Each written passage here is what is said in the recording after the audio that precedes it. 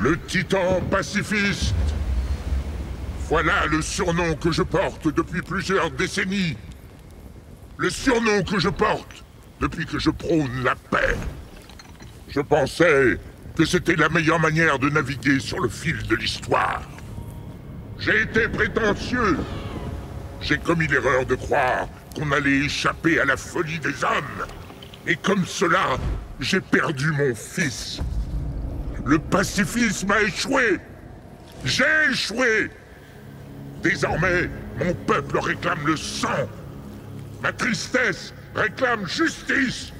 Ma colère réclame vengeance. Depuis ce jour maudit, je ne dors plus. Depuis ce jour, la sagesse a sombré dans les profondeurs de mon âme. Aujourd'hui, je ne suis plus le père aimant. Je ne suis plus le monarque philosophe. Je ne suis plus le titan pacifiste. Aujourd'hui, je suis la guerre